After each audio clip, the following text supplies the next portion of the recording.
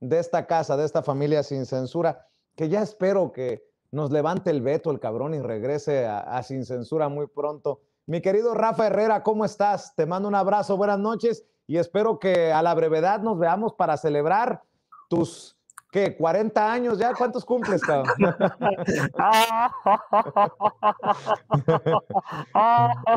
38, cabrón, ¿cómo crees?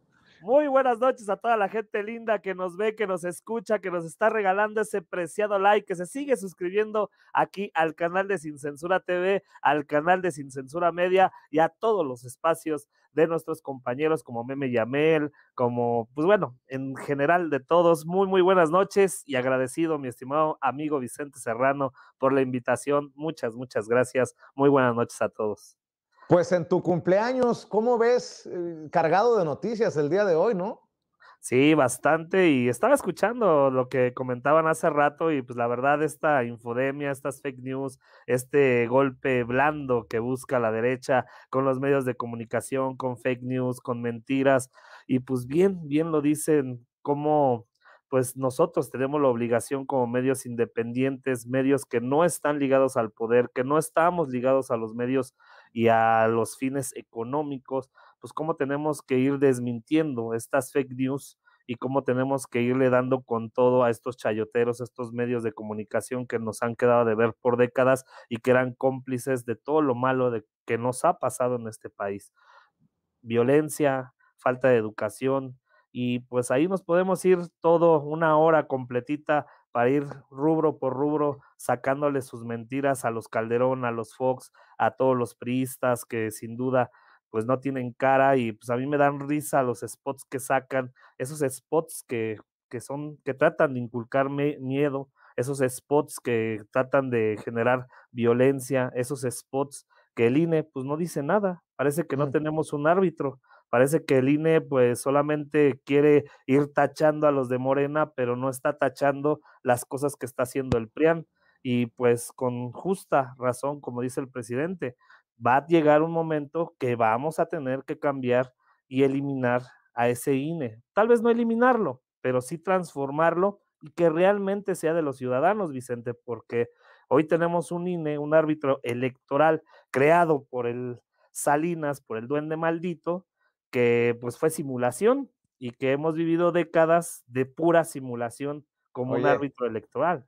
Oye, Rafa, estaba viendo esta entrevista de Santiago Krill, en donde admite que Gustavo de Hoyos, que Claudio X González, pues son los artífices de esto de Va por México, la alianza Prian-Redé, pero me da mucha ternura. En serio, te lo juro que es ternura cuando admite que entre los, las posibilidades está postular a un candidato de la alianza para el 2024. Pues como dicen en inglés, bring it on, que vengan, cabrón. Pues Imagínate tú, ¿quién será el candidato del PRIANRD? ¿A quién visualizas? ¿A Naya? ¿Al jefe Diego? ¿A, a Madrazo? A, Echeverría que acaba de reaparecer. ¿Quién, cabrón? Por favor, no mamen. Pues nadie, o sea, no existe un líder político. Si a Morena le está costando tener realmente líderes, ya vimos las jaladas que hace Mario Delgado y en la realidad, pues imagínate a la oposición que tienen la cola bien zurrada. por kilómetro y van dejando popó por todos lados. Es que es la verdad. O sea, tú vas, tú vas viendo a Krill, ves a Anaya haciendo sus spots pedorros y va dejando caquitas en el camino. ¿Por qué? Porque tienen la cola bien zurrada. La realidad es esa. No hay líderes, no hay congruencia. Realmente no se puede confiar en esos, en esos políticos de cepa que sabemos que pues tienen corrupción y que fueron este pues los que estuvieron con todo el daño de este país. ¿A quién le vamos a ir? O sea, a mí me da risa. El otro día estaba viendo a los de Frena que no, pues voy a votar por, por el PAN, voy a votar por el PRI. O sea, todo lo que te hicieron y todavía vas a volver a votar por ellos. No, es que Andrés Manuel López Obrador dice puras mentiras. A ver, ¿en qué dice mentiras? No, que en esto. Y les muestras, dices, ay, es que yo no sabía, es que como dice Loret de Mola, es que como dice López Dóriga, es que como, pues es que no se dejen llevar por lo que dicen ellos. Hay que empaparse, hay que involucrarse, hay que indagar, hay que investigar y hay que fomentar eso eh, eh, a los mexicanos, que no se dejen llevar por las mentiras que dicen los, los Loret, los que dice Gilberto Lozano, los Javier Lozano y toda esa bola de parásitos de la política que como quieren regresar al poder, quieren regresar a seguir teniendo esos privilegios de mucha lana y seguir haciendo de las suyas, pues obviamente quieren que vuelvan, pero no. Les vamos a dar su segunda dosis.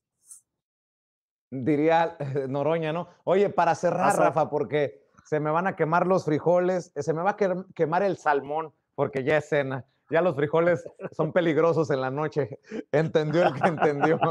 Oye, a ver, Rafa, se le está cayendo a pedazos Jalisco a Enrique Alfaro. Te lo pregunto por esto. Muchachos, ¿tendrán por ahí eh, las imágenes grabadas por los ciudadanos eh, allá en el área metropolitana de Guadalajara, pegadito a Zapopan?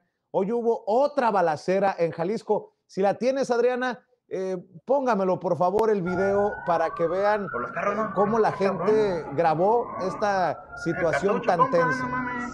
Ah, es el radio. Ya ver, ahorita te van a regañar si te ven. Sí, no, que no te vean. Que no te vean. No, de hecho nos deberíamos de poner por asesoría, ¿eh? No es por nada. Yo ya estoy escondido. Ya papá. Vienen todos para la esquina ahora. Sí. No veo si ya cerraron este pedazo de la gas. No, no, pero No, siguen pasando. ¿Siguen pasando? Uy, ya vale madre. Es un madral, ¿eh? Judiciales, cosas. Mira. Y sin chalecos. Bueno, eso es por la balacera, Rafa.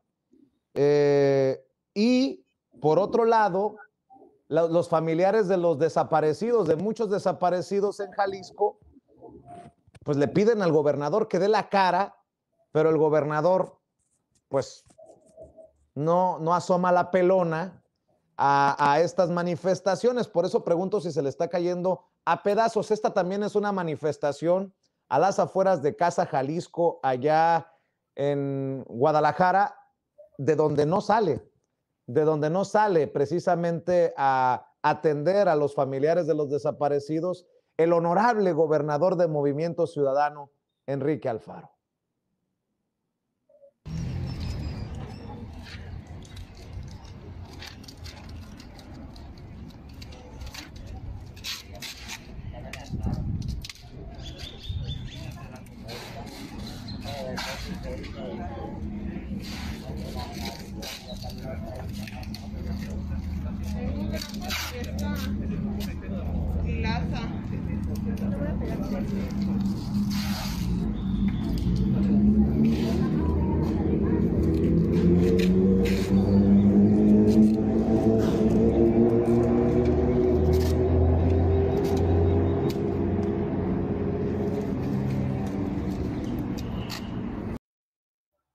Tu opinión, Rafa, de lo que está ocurriendo en Jalisco con Enrique Alfaro. Pues hay que decirlo con todas sus letras, Vicente. Enrique Alfaro, desde que inició su gobierno en Jalisco, se le ha caído a pedazos. Se le ha caído a pedazos con corrupción, se le ha caído a pedazos con endeudamiento, se le ha caído a pedazos por la falta de, de inseguridad y la violencia, se le ha caído a pedazos por el tema de la pandemia, se le ha caído a pedazos en todos los rubros y la gente está desesperada. Lástima de lo que está pasando en Jalisco. ¿Y sabes qué es lo peor? Que al rato va a decir que todo esto pasó en los sótanos de Palacio Nacional, porque para eso se las gastan. Todo lo que pasa en sus estados es culpa de Andrés Manuel López Obrador. Todo lo malo es culpa de Andrés Manuel López Obrador. Y nada más es lo único que hacen, desgraciadamente, estos gobernadores que están en contra o que no son afines a la cuarta transformación, que no quieren trabajar en conjunto con la Guardia Nacional, que no quieren trabajar en conjunto con la Marina y el Ejército para hacer estrategias, realmente solamente hacen esto, echarle la culpa a Andrés Manuel. Y eso es lo que va a salir a decir Alfaro. Te lo apuesto, Vicente. Va a salir mañana o pasado cuando se le ocurra la pelona a decir que es culpa del presidente y que el presidente no lo está apoyando porque no tiene recursos, porque no tiene dinero, etcétera, etcétera, etcétera. Desgraciadamente, esa es la tónica. ¿Por qué? Porque quieren echarle la culpa a Andrés Manuel en todo lo malo de lo que no se quieren hacer responsables los gobernadores de Movimiento Ciudadano en este caso, del PAN y del PRI. Querido Rafa, hoy en tu cumpleaños, no solamente te abrazo, sino te exijo que te comprometas. Ya regresa, cabrón, hombre. Ya te dije que sí, cabrón. Ya quedamos, no quedamos que vas a regresar. Yo voy a ir, me voy de viaje un fin de semana para aprovecharlo de mi cumpleaños y regresando me voy a, ya quedamos que me voy a ir a este a, Sonora para platicar y ya sabes lo que te va a tocar, cabrón. Mi querido Rafa, me da mucho gusto eh, saludarte en tu cumpleaños y me da mucho gusto que estés con las intenciones de regresar al equipo de, eh, esta familia que, de la que nunca te has ido, pero que te extraña, eh, tú sabes, continuamente. Ojalá que nos veamos muy pronto y que los beneficiados son esas personas que tanto te aprecian, que tanto te quieren, que te han seguido desde tu inicio en Sin Censura como corresponsal en las mañaneras, eh, que te han seguido apoyando en tus canales y ojalá que ya te animes, insisto, a la conducción de un espacio en estos, eh, en estos canales libres como el viento que, como te has dado cuenta, crecen y crecen. Por lo pronto, hermanito, te mando un abrazo y sigue echando trancazos. Claro que sí, mi estimado Vicente, y ahí vamos a estar, te lo prometo. Es un, e, eso sí te lo garantizo, cabrón. Órale. Abrazote y muchas gracias. Y saluda a todo el equipo de Sin Censura, a todos, a todos, a todos. Feliz cumpleaños, el buen Rafa Herrera, ya chocheando eh, en su cumpleaños el día de hoy.